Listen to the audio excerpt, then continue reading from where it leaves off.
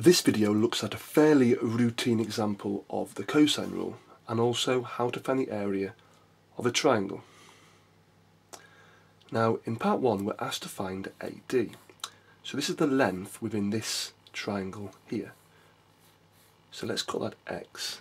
Now because we know the two sides and the opposite angle, we can use the cosine rule, which tells us that x squared must equal 9.8 squared plus 6.4 squared minus 2 lots of 9.8 times 6.4 times cos of the angle 53.4.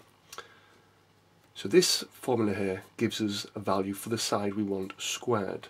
This gives us that x squared is equal to 62 0.2.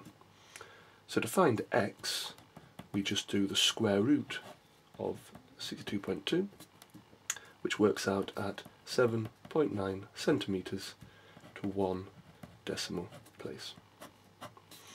So again, if we know two sides and a angle between them, SAS, we can find the side opposite the angle using the cosine rule. Now, part 2 asks for the area of triangle ABC. Now then, if we know two sides and a contained angle SAS, then we can find the area using the formula half AB sine C. That is a general formula for the area of a triangle. Now we know two sides, but we don't know the angle here, but we can find that quite easily, because that there is a straight line. So to find the missing angle, I do 180 take the known angle. So 180 take 53.4 is 126.6. Those two add to 180. I now just use a half. A and B are just those two sides in any order. So I'll do 9.8 times 7.3 and then times by sine of the angle which is 126.6. Put that into the calculator and we get the answer 28.7 centimetres squared to 1 dp.